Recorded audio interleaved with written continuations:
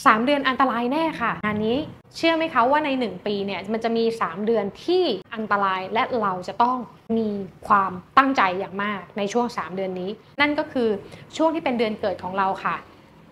หน้า 1 เดือน หลัง 1 เดือน และเดือนเกิดของเรา อย่างเช่น สมมุตินะคะว่าใครเกิดวันที่ 1 มกราวันที่ 1 ธันวา ย้อนไปนะคะ วันที่ 1 ธันวา 1 มกราวันเกิดเรา จนถึงวันที่ 1 กุมภาพันธ์3เดือนนี้ค่ะจะเป็น 3 เดือนที่มีการเปลี่ยนแปลงกับเรามากที่สุด ให้เพื่อนๆลองไปสังเกตดูค่ะ ถ้าหากว่าใครที่รู้สึกว่าช่วงเวลานี้มันมีแต่เรื่องเข้ามาแล้วแล้วก็เรื่องร้ายๆมันก็จะเข้ามาในช่วงนี้ ซ้ำๆซ้ำๆ รถโดนเฉียวบ้าง ต้องเสียทรัพย์บ้างไม่สบายบ้างก่อนจะเข้าวันเกิดและนี่คือภูมิปัญญาของคนไทยที่มีการสังเกต แล้วส่งต่อถ่ายทอดมาจนถึงปัจจุบัน และเรื่องนี้เป็นเรื่องที่เราจะต้องระวังมากๆ นั่นคือ 3 เดือนอันตรายแห่งปี ถ้าหากว่าใครไม่เชื่อลองไปสังเกตแล้วย้อนดูค่ะว่า มันเป็นแบบนั้นจริงหรือไม่ แต่นั้นมีข่าวดีบอกทุกคนค่ะ ว่านอกจากที่มันจะอันตรายแล้วเนี่ย ข่าวดีคือ 3 เดือนนี้ยังเป็น 3 เดือนที่คุณสามารถเฮงที่สุดได้ตลอดทั้งปีด้วยนะคะ เพราะในช่วง 3 เดือนนี้ค่ะ ถ้าหากว่าเรามีจิตใจที่ดี เราทำบุญ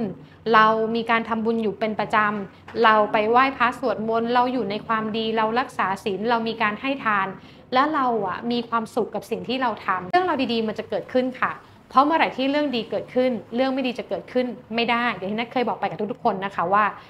ความดีกับความเร็วนั้นเนี่ยเขาไม่สามารถอยู่ร่วมกันได้ ฉะนั้นให้เพื่อนๆเลือกค่ะ ว่าเพื่อนๆนั้นจะมีอารมณ์ใจแบบไหน เราจะตั้งกำลังใจของเราแบบไหน เพื่อรองรับเรื่องราวต่างๆ ที่เกิดขึ้นกับเรา ถ้าเราเลือกที่จะมีอารมณ์ที่ดี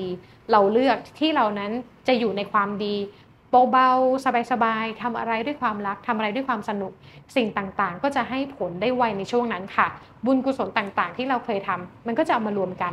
แล้วเราก็จะทำอะไรก็จะปังแล้วก็จะเริญรุ่งเรืองมากค่ะ แต่ถ้าหากว่าเราทำอะไร